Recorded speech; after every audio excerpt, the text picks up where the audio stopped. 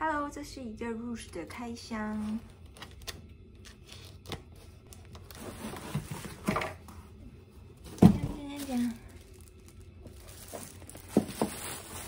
哇，感觉质量挺好的，这是他们圣诞节做的一个礼盒。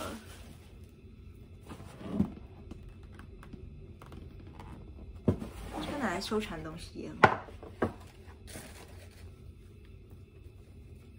这是它的化妆包，这边是可以放那个眼影盘，然后放它那个口红跟睫毛膏，然后这是卷起来的，卷起来对折就好了。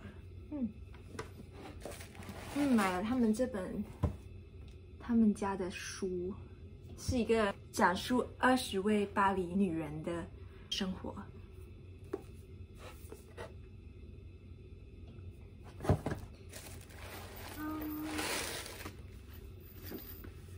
这是我等很久的 Sherry 包，之前很纠结，不知道要买哪一个。哇，比我想象中的，比我想象这灯光不太好，比我想象中的大。待会儿给你们看一个灯光比较好，比我想象中大哎。对，